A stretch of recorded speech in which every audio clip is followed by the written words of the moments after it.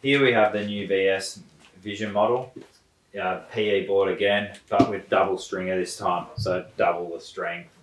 Comes with contours as well, and uh, retails for one nine nine ninety nine. Comes with the black fluoro green, the aqua fluoro red sleek, and the royal blue electric blue. So if you're looking for a PE board that's going to last a little bit longer, go this one.